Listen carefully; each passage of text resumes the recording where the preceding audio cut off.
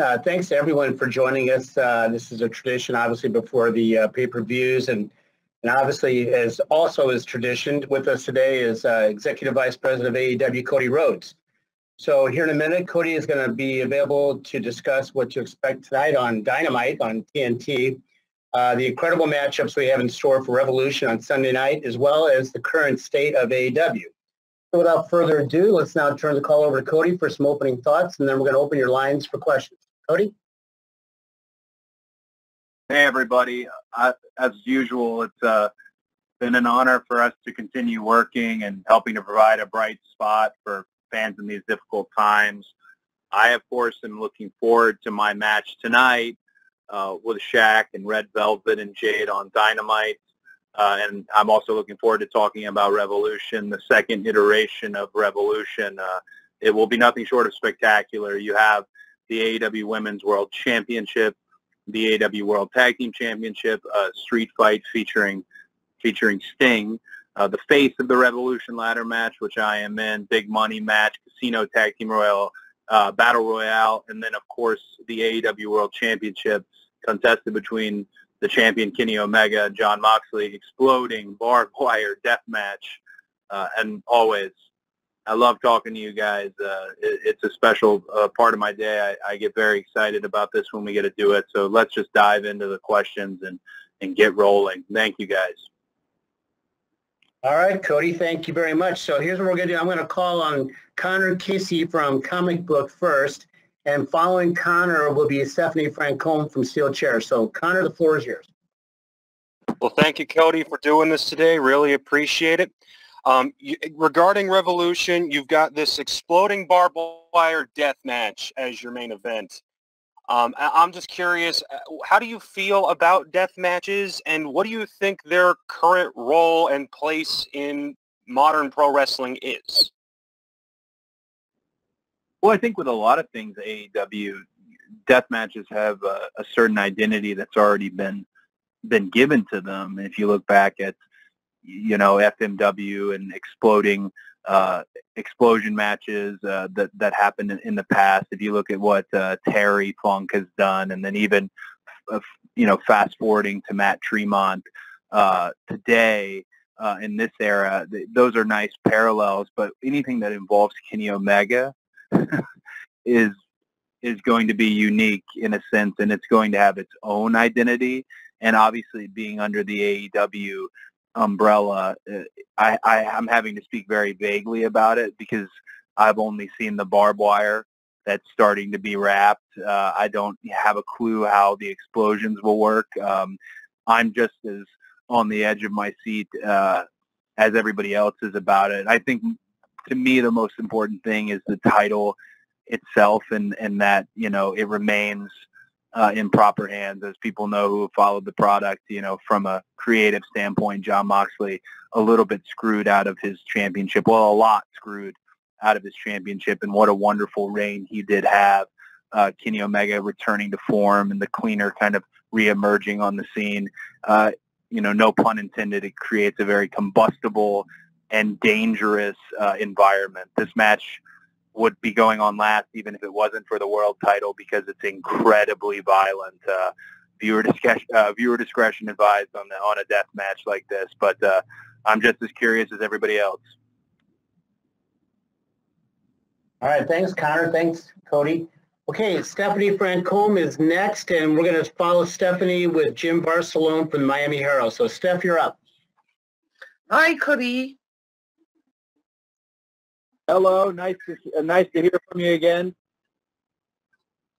Um, you hear me? I can I can hear oh, you. Okay. Um, first of all, congratulations for the the little girl to come. Uh, uh, it's fantastic uh, news that uh, was announced on TV. Um, I want to tell you about the big Paul White. Sorry, uh, it was a surprise for many of us to find mm-hmm. out that he was now uh, a member of AEW. Um, can you tell me more about uh, of, of, of things happen?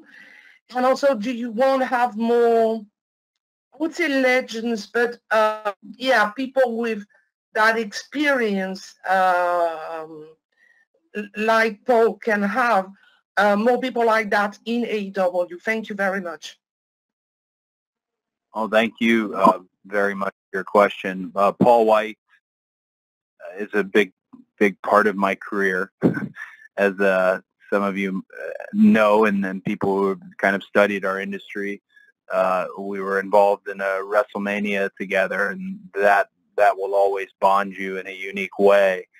The Paul White that AEW is getting is extremely, extremely motivated. I, I can tell you, you know, there wasn't a long negotiation process simply because he wants to be here, uh, very much so. And he wants to be here in a different capacity as as far as announcing and commentary goes with Elevation. Uh, I do think I do think there's a match R2, R3, or 4, and that's just me personally because I know uh, he's able to still go at a high level.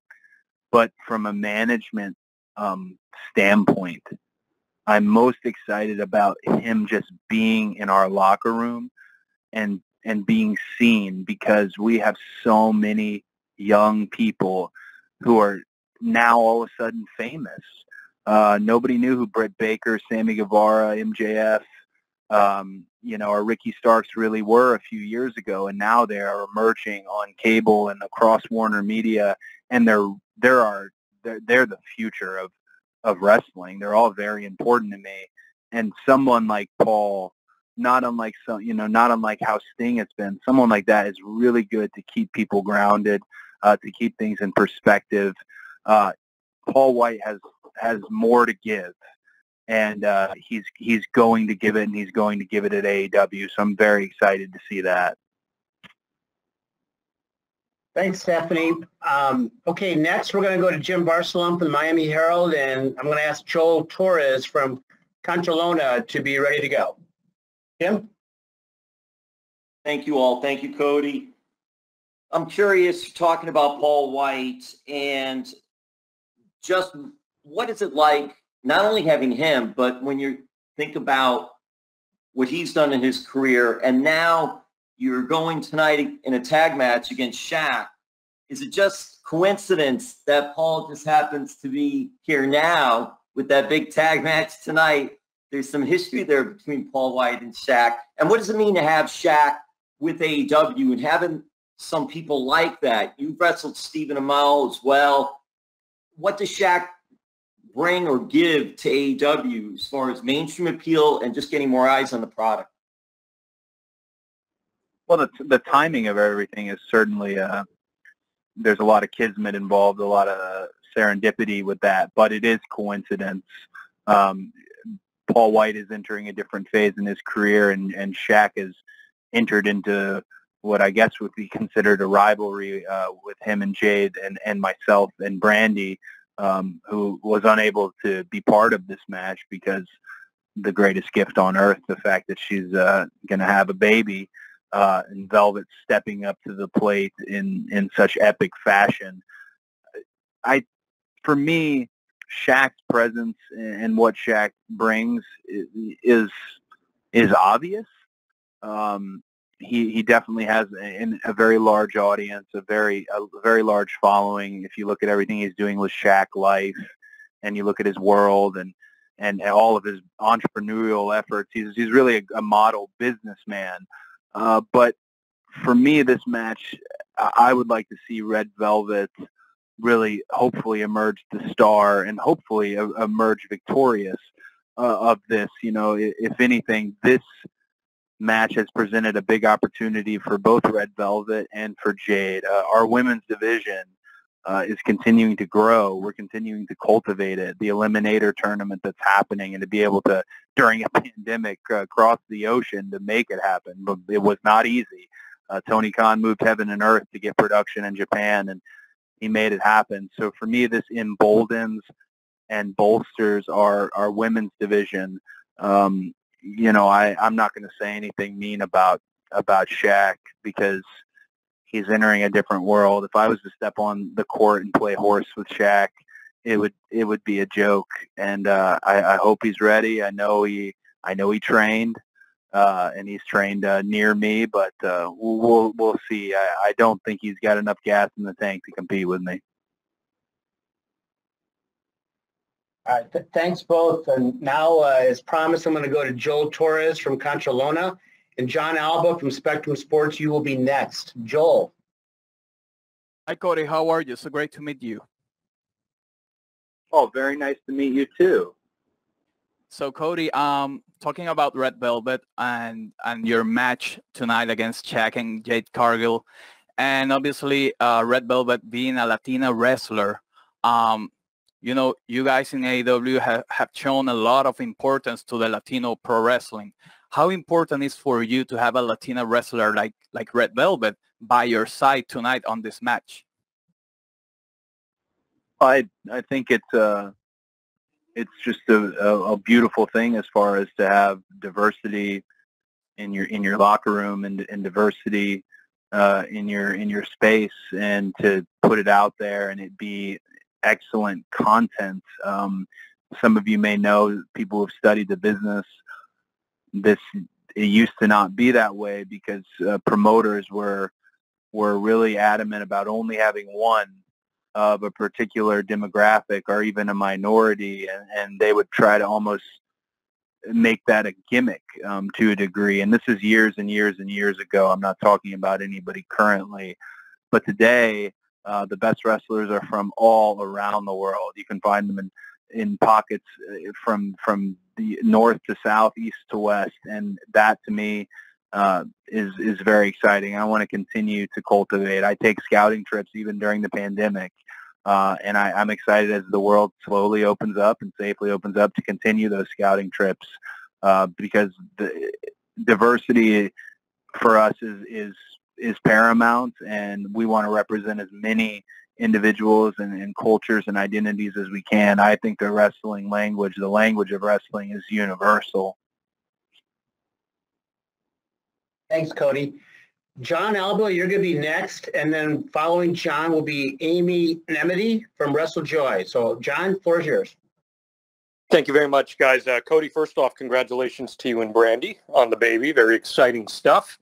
Um, believe it or not, it has been pretty much a year that we are in the middle of this pandemic era of pro wrestling. And it really felt like AEW was on the verge of breaking through to another level with Blood and Guts coming up and the debuts of Brodie Lee and Matt Hardy. And then everything shut down. So what I'd like to know is where do you think AEW was heading before the pandemic and what you were able to accomplish? And how can you pick up from that place and ensure that you spend the rest of 2021 and beyond getting back to where you guys were on track to be? Well, we were heading to the freaking moon, buddy. I, I, I honestly, uh, we were we were rolling, and you look at Prudential Center and and that sellout and what Blood and Gates, uh, what Blood and Guts was going to be. Uh, that's so wonderful, but the pandemic happened not just to wrestling. You know, it did hit the hospitality industry really hard. It did hit entertainment incredibly hard, but it, it hit everywhere really hard. And, and a lot of people have uh, faced so many hardships. I think the number is 40 million unemployed. And forgive me if that's hyperbole. I don't think it is, though. Um, so I don't want to, you know, whine about about what happened to us. Um, instead, I want to I want to help those who have experienced it with us, which the wrestling fan wasn't sure they were going to get wrestling on a weekly basis. Um, you hear a lot about these fabled Norcross shows that happened uh, when AEW and the pandemic first hit and lockdown started to happen, and the marathon, the the march, thirty uh, something matches, and uh, in only 26 hours. It was some absurd data that that we were able to pull it off, and those shows genuinely saved the company. That's why they have such a a soft spot because we are our job is to provide content for TNT, and we have continued to do that, and they've been such a, a wonderful partner. But we had to pivot like everybody else had to pivot, and now uh, as vaccines are starting to become regular, and the Johnson and Johnson one was just approved, and you start to see vaccines for every every citizen of the U.S. I think there is going to be a large bounce back with people who want to go out there and get get their entertainment, get it safely, and get back to, to the way things were. I really think it will only behoove AEW uh, in time because we never we never gave up. We we never flinched.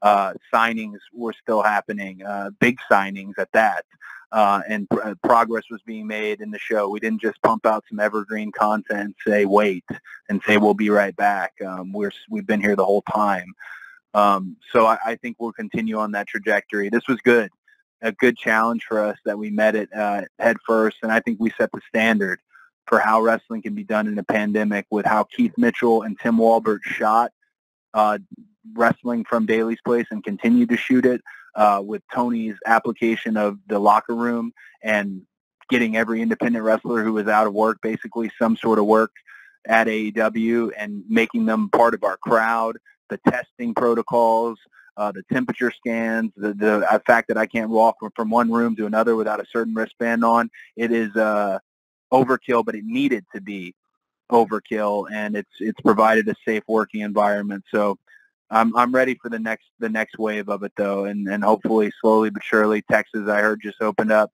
but we aren't going to be the first to dip our toes into that water.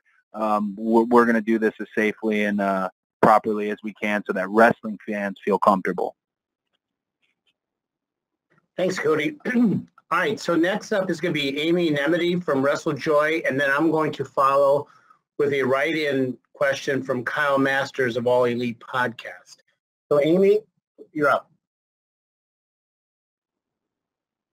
Amy, you need to unmute yourself. Thank you. Hi, Cody. Thank you very much for taking my question. I want to touch back to Red Velvet real quick. You mentioned that she has epically stepped into this position um, to replace Brandi within this feud. You had also mentioned that she, you have her on a sort of special retainer contract. Considering that we've seen sort of a meteoric rise with her from her ring work to her promo work, um, especially in the build up to this feud with Shaq and Jade, what's next for Red Velvet? And may we possibly see her signed full time with AEW? I mean, um, it's a beautiful question, and to me, the answer is is is within the was it within the question. She's stepped up. We've seen her, and um, and I would hope that it it turns into a full time full time gig and a and a part of being a part of the all elite locker room full time. Uh, not that a tier zero or a retainer type contract isn't being part of our family, uh, but but Tony is really um, careful, conservative, and diligent about when you see that such and such is all elite graphic. Um, he really wants to make sure that that's somebody in it for the long haul, somebody there for the future, and I think that's a big part of today um, as well, specifically Red Velvet. Uh, and looking at her, and, and she went from being a replacement to she's not a replacement at all. She's changed the makeup of the match. Um, so I, you know, I, I kind of want you to ask me that same question in 24 hours. Um, I think she's going to kill it um, and I think she's going to hopefully become part of our family. You know, I don't mean I, I could be talking completely to complete nonsense in this moment because I bet you I'm going to look at a legal uh, memo here in a second, and perhaps we already signed her, but I'm pretty sure uh, I'd like to advance things with her um, if all goes well tonight and if she's able to execute when the red light is on. Okay. I'm going to um, ask a question on behalf of Kyle Masters from All Elite Podcast. And then following that will be uh, Stephanie Chase from Digital Spy. So Cody, the question from Kyle. The AEW Women's Tournament has been a great success so far in fan enjoyment. Most of the tournaments have been very well received in AEW since its inception. Are tournaments now becoming a staple of AEW? Will we see more in the future, especially on Dynamite slash PPVs? And will we see the American Nightmare in more than and, and more of these in the future as well. Oh, tur- tournaments are absolutely uh, part of what we do. You know, uh, initially looking at AEW, we wanted to have several portions of the show provide a sports-based outlook on our industry, and a tournament's so good for wrestling because uh, th- those matches in a tournament are just for the opportunity at another match. You're buying more time. Uh, you're getting more uh, water in the glass Um, and I was part of the TNT title tournament, and to, just a just a beautiful thing. Um, some of my favorite shows growing up were tournaments, um, and even the two-day classics. You know, the Crockett Cup all the way to King of the Ring. A tournament when you do it right um, is certainly something special, and I think for sure um, you'll see more tournaments and tournaments that you know right now we have one that's geared around the AEW Women's World Championship. Shida being a such a wonderful, wonderful, wonderful champion, just an absolute ace. Uh, and then you're going to see tournaments that perhaps have their own uh, peripheral uh, item that that involves and things and things of that nature. So tournaments around the titles and tournaments around uh, bragging rights and specific things uh, that talents can acquire. But yeah, there'll be more, more tournaments for sure. I'd, I'd hope to not only see tag tournaments and singles tournaments, but you know, somewhere down the line, I'd love to see a trios tournament as well. Okay, thanks, Cody. Okay, Stephanie Chase, you're going to be next, and following Stephanie will be Bill Pritchard from WrestleZone. Stephanie, you're up. Hi, Cody. How are you? I'm good. How are you? I'm great, thanks. And thanks for talking to me today. Um, I was wondering, we know how much of a fan of Sting you were growing up. So what has it meant to you personally to see him sign with AEW and for your company to be able to be the ones to give him an opportunity to have another run? Hmm. That's a great question. Uh, nobody was a, more of a little stinger than me. Um, I would go to the shows and the merchandise stands had the temp tat that you would put on your face, and my mom would wet the tat, and then I'd be so excited I'd usually take it off too early and have like a real NWO Bush League style uh, sting paint on, my face. Uh, but I, gosh, I, I'm such a fan, and I think, I think Sting right now. The, the question is, can Sting have a regular wrestling match? You know, is can can he do that? Can he go bell to bell in a live setting? I would bet he absolutely can. Um, there there's a lot left, and and I don't know if anyone noticed when he hit Ricky Starks with the bat, but his frenetic mo- movement, his dynamic motion, is is still there, and that's dangerous as far as if you're his opponent. Uh, especially because people forget Sting is a big guy. He's from a generation where uh, there were there were you know he was more of a light heavyweight, but now he's definitely a full blown heavyweight and a little bit taller than some of our roster. Um, having him here is wonderful. I want to make sure he's happy. Um, I want to make sure he has a great place to be here, and I think he's in it for the long haul uh, with with AEW and our family here. Thanks, Cody. Okay, Bill Pritchard, you are next. Uh, Bill Pritchard from WrestleZone, and then I'm going to follow with a write-in question from Kenny McIntosh from Inside the Ropes. Bill, you're up. Bill, you're muted. There we go. Hey, how you guys doing today? Good. How are you, bud? Not too bad. Uh, so I kind of wanted to touch on this comment Shaq made in an interview. He said that he expects this match to top all other celebrity matches in the past. And Pat McAfee kind of chimed in and said, no, it won't. But I wanted your take because you already have experience in that area. You faced Stephen Amell before. Is there any added pressure just facing a non-wrestler in general? Is there like do you pay attention to comments like that where you you know you try to raise the bar, so to speak? Well, I I think uh, you know I didn't see this particular comment, especially from Pat, which is super bizarre because just just bizarre because I'm pretty sure Pat's trying to get a job at AEW like every other day, but that's another conversation. Um, I like that Shaq made that comment. I stand by that comment myself. I'd make the same one because you have to continue to raise the bar and you can't do there's a lot of old veteran wrestlers who have these opinions on how you're supposed to do a celebrity match. My opinion is is is this, you have to wrestle. If you're showing up for a wrestling match, you have to wrestle. It can't be, oh, they're not from our world. They shouldn't be able to lock up. None of that. Shaq trained. Uh, I never trained with him, but he tra- he trained for this. So I anticipate he's going to know his way around the ring to a degree. Now he doesn't have the experience that I have for sure, but if he did train, and we're talking about a multiple-time world champion uh, in the NBA, we're talking about a former MVP. Uh, that athleticism is is once in a lifetime athleticism, which is where I would be confident in saying, hopefully, it is the best celebrity match of all time. Because if he did train and he is the man we know that is Shaq, then by all means, um, uh, I, I, hope we can uh, set a new standard and, and raise that bar and and not only set a new standard, but perhaps give a different outlook on what a uh, celebrity or crossover type match should be. Thanks, Cody. okay, I'm gonna I'm gonna read a, question from Kenny McIntosh from Inside the Ropes, and then I'd like to ask Ed Robinson from SiriusXM to be ready.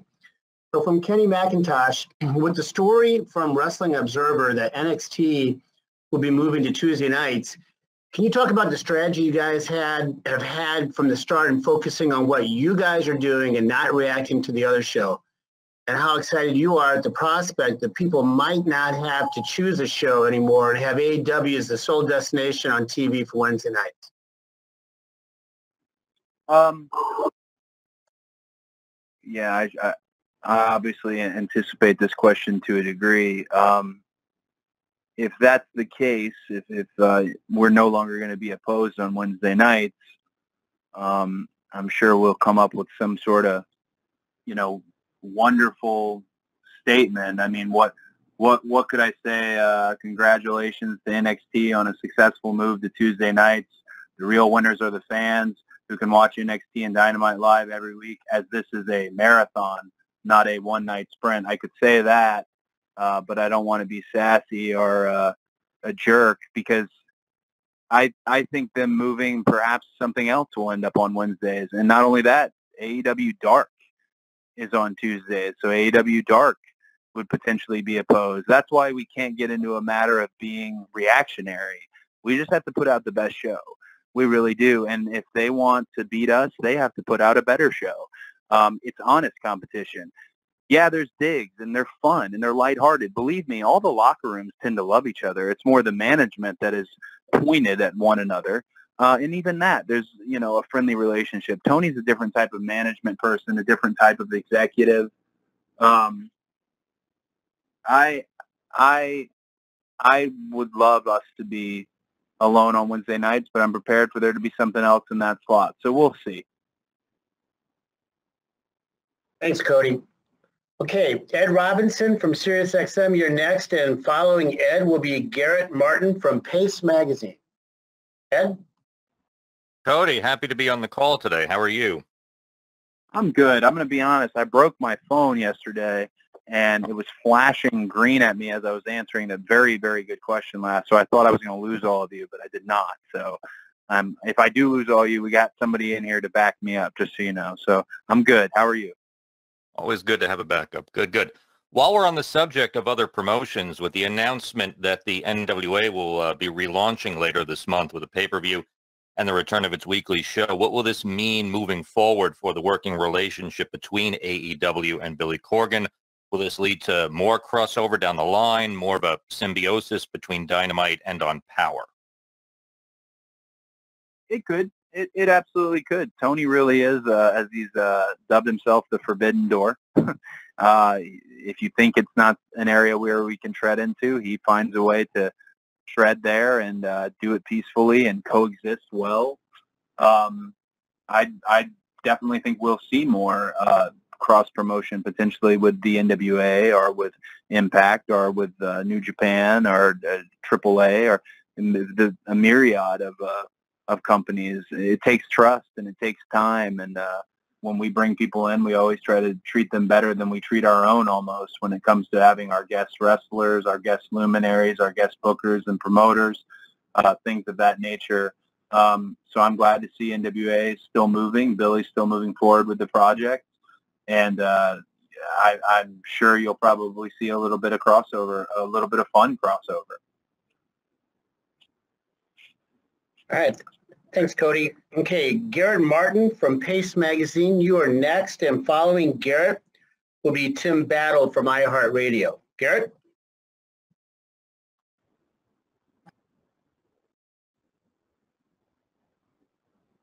Hi, you can you hear me? I can hear you, my friend. Oh, cool. Hey, um, I couldn't hear you. So, uh, yeah, quick question. You've got a new show coming out in a couple weeks, AEW Elevation. How is this going to be different from Dark or Dynamite? Thanks. I would I would want people to tune in for the the first AEW Elevation and uh, you know Paul White joining us on commentary, first time for him really in his career as an analyst and broadcast journalist, as Heenan used to put it. Um, I think to give you a little spoiler potentially on a AEW Elevation, again, I want everyone to watch and see. Uh, it, it it's going to be similar to Dark, but there should be more of a focus on potentially individuals, part of our roster. And Tony Schiavone is the one who is spearheading that. I think you're going to see some one-to-one pieces, some sit-down interviews. I think you're going to see a little bit more of a character uh, insights, not unlike you see with American Ninja Warrior or, or even my other show on TBS, Go Big Show, where we learn uh, a lot more, hopefully, about why these wrestlers are stepping into the ring, why these men and women are competing, what this means to them, and uh, their place in AEW. So I think that and a few other items, of course, the biggest item being Paul White, um, will separate uh, AEW Dark Elevation uh, from its uh, predecessor, AEW Dark. Thanks, Cody. Okay, next up is Tim Battle from iHeartRadio. And following Tim will be Sean Lealos from CBR. Tim? Yeah. Uh, hey, Cody. Uh, so, you know, there's a lot of buzz around your match tonight. Some might say that this would be a pay-per-view type of match. Uh, do you think the match loses a little bit of edge being on Dynamite instead of the pay-per-view on Sunday? And then also, how hard was it to convince Tully to get back in the ring tonight? Well, I would say the FTR boys, uh, I don't know how much convincing they actually had to do. I, Tully uh, always got that wild look in his eye um, that I wish so many uh, other people had in terms of he he, he wants it. I don't think it was a uh, difficult conversation. I think we've got a few surprises here for Tully tonight, uh, as we are very excited, and, and it's not lost on me what it means him returning to the ring. Um, as far as Shaq, myself, Jade, and Red Velvet in this tag, I think it fits just great on Dynamite. Uh, we've actually talked about it on the call before, whereas the economics of the industry are are much different now. The pay-per-view and the streaming and, and everything to that nature, uh, there's a great deal of opportunity there, but the, the television money um, is your bottom line sometimes and providing the absolute best content for Dynamite and not doing a really carny, let's stretch it, let's stretch it, let's stretch it um, that wrestling has done in the past. So I'm excited that it's on Dynamite and it's live and that it's not only live and on Dynamite, but it's kicking off the show, it being the very first thing.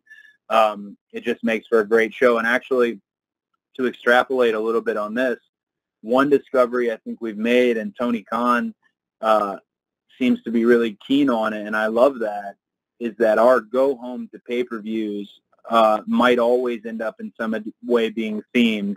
Uh, they're always going to have a heavy hitter of a match on them uh, because they shouldn't be a throwaway. A lot of rivalries and stories and angles, if you will.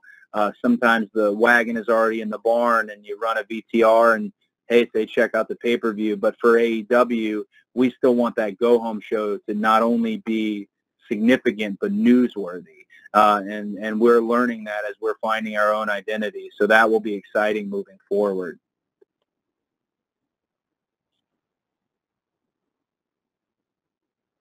Thanks, Cody. Sean Lealos from CBR is next, and Sean will be followed by Cassidy Haynes from Body Slam. Sean? Hey, Cody. Congratulations on the upcoming child. It's going to be going to make you a different person. Um, oh, thank you. Uh, my son, he's 11. He became a wrestling fan because he saw you, your brother, and your dad in a Scooby-Doo movie. Um, with Shaquille O'Neal being on the pay-per-view this weekend, with Snoop Dogg coming on, I assume you're probably going to help Stephen Amell promote uh, Heels when it starts up. What is AEW's stance when it comes to crossing over with non-wrestling to bring in fans who might not have watched it before or maybe bring back fans who used to watch in the past using the crossovers?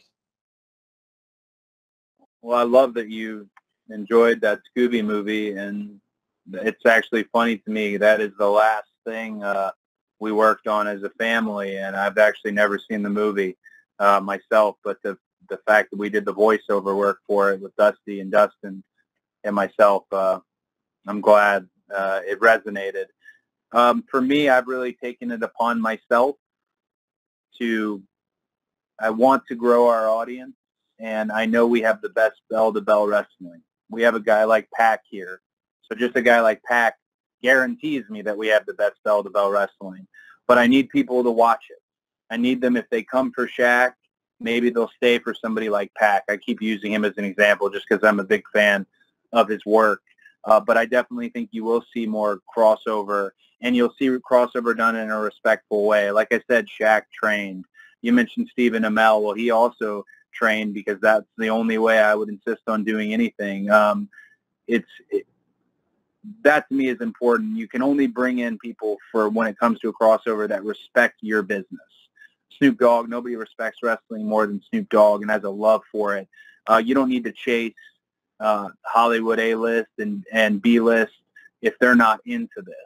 Uh, and Shaquille O'Neal is somebody who's very into wrestling uh, and knows a lot about it. You know, grew up uh, uh, watching uh, Leroy Brown and JYD, and he has a lot of opinions and things to say about them. And as a fan, and again, like I said, he trains. So yes, you will see more crossover. Uh, and my goal here is always to grow our show because I want to grow more fans. I want to make more fans happy. Um, you will see it, but it will always be done in a disciplined way. We want people who love our, our sport and love our form of entertainment because um, they make for the best guests. Thank you, Cody. okay, Cassidy Haynes from Body Slam, you're next.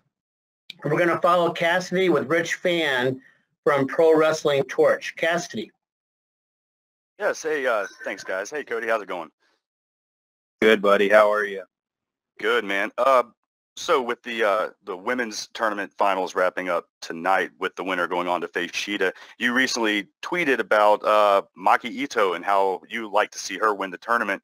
Or is there many talks about and possibly bringing her back into the company to work more now that uh, the tournament's wrapped up, especially after how big of a reception she got online?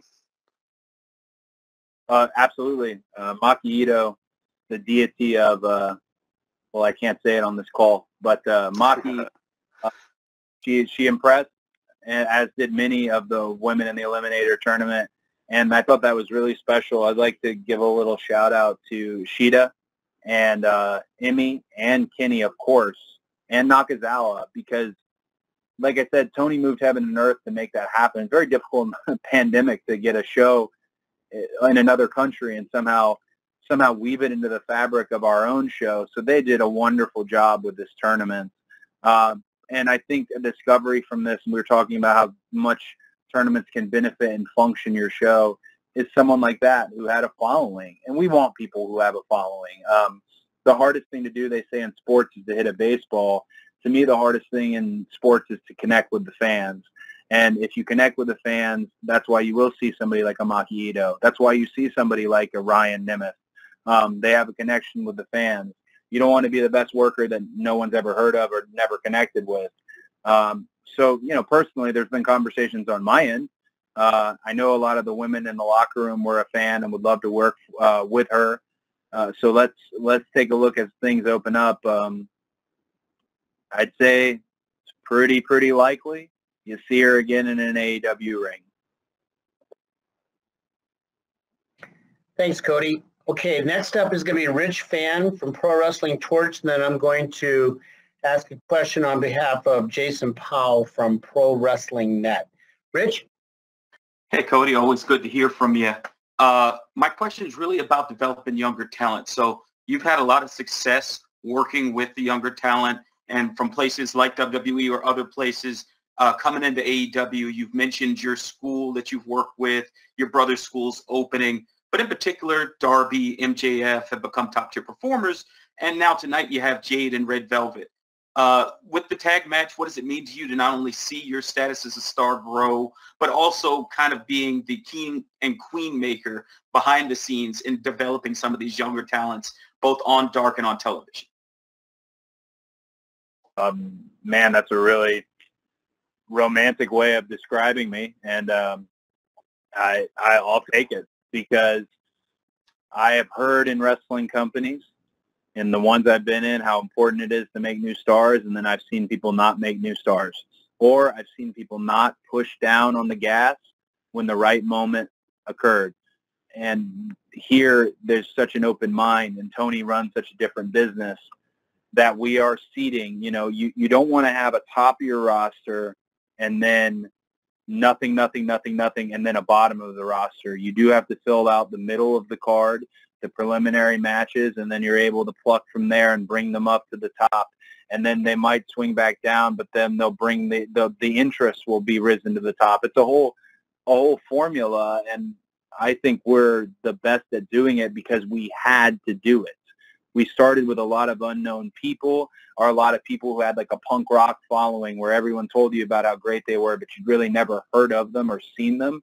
So we had to do it quickly. And if you look at, I mentioned Britt, I mentioned Ricky Starks, MJF, Sammy Guevara, and then you can look at somebody like Anna Jay. Then you look at somebody like Jade and Red Velvet. That is our job.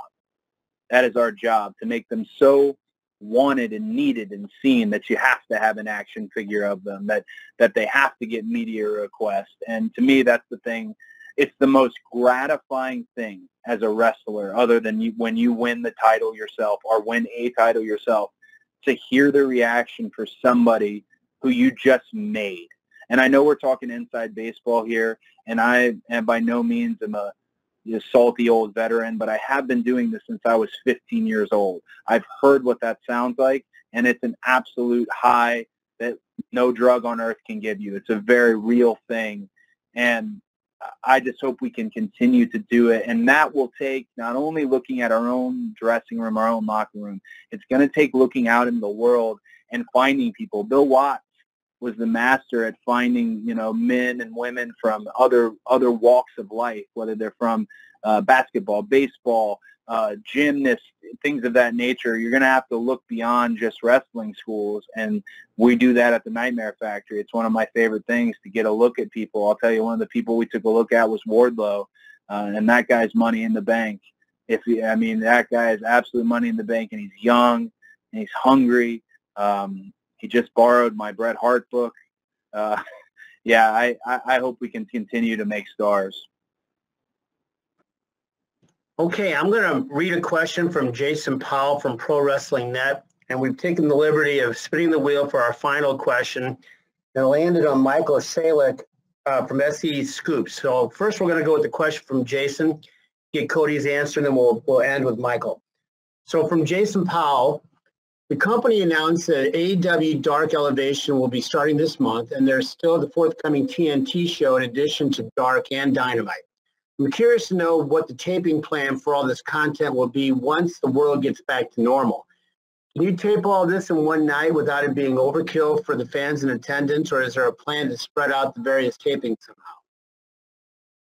Well, that's a that's a that's a technical question, and I wish I had a really good technical answer. Um, with all the content that's moving forward, uh, that's an area where I'm going to leave it to Greg Warner, who I'd like to give a special shout out to, who heads production, Keith Mitchell, our executive producer, Tim Walbert, our director, and their teams uh, to help coordinate something that's logistically the, the, the best for us. Uh, we, we want to make sure fans have the best experience and and it's not a marathon style taping as I've been part of in the past, uh, not at AEW, but I know how they feel, uh, and I know where they can kind of they can.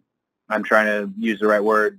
They can linger and fatigue, especially for families. So we'll do everything we can uh, to make it um, logistically and and functionally correct. I'm sorry that wasn't a technical answer, um, but uh, those are the guys who I'm going to rely on to do it. Keith Mitchell and uh, Greg Werner and that team because they're wonderful what they do and they have many, many years of experience doing this. And Tony will have his own plan and we'll be off to the races. All right. Thanks, Cody. And as promised, uh, to wrap it up for us here, Michael Shalik from SE Scoops. Uh, you won the lottery. You get the last question. Michael, you ready? All right. Best for last. Here we go. Cody, thank you for your time today. Uh, following the announcement of AEW Dark Elevation, Tony Khan confirmed that a second TNT show is still in the works for later this year. Could you tell us, do you expect that this show will have a different format than Dynamite? Might we see a trios division, more outside the ring content, or something else? Well, uh, I know you're not speaking about AEW Dark Elevation. I know you mean the the promised uh, additional hour of content uh, on TNT. Actually, I think all our shows will end up with a, with a different format.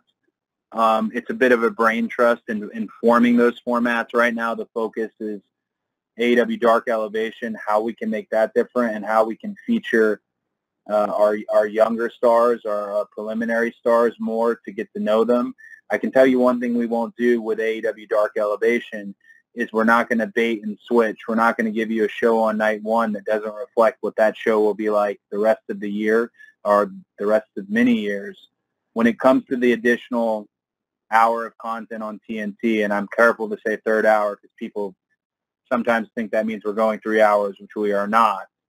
Um, when it comes to that, I can only tell you that it has a name, and I love its name, but I can't tell you I can't tell you what it is. And hopefully, on the next media call, uh, we'll be talking about it. But it will happen uh, in 2021. Uh, in addition to that, there's some other news uh, featuring some other AEW talent regarding another show uh, that is also in the Warner Media family. So please, uh, if you're part of our wonderful media list or if you're out there and you work with Fleischman and Mandy and all these wonderful people who set this call up for me, please keep your ear to the ground because we have made some pretty large moves and we have no, we aren't stopping.